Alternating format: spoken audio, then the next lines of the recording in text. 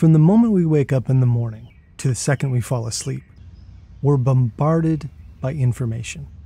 Upsetting news from all over the planet, photos from random acquaintances, and the ever urgent emails that ping in our mailboxes.